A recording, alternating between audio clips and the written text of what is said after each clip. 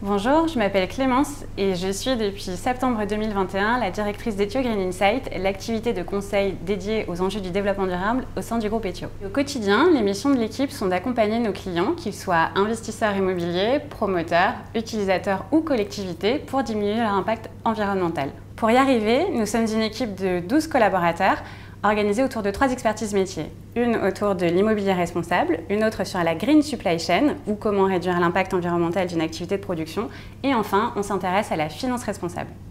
La filiale Ethio Green Insight a été créée en septembre 2020.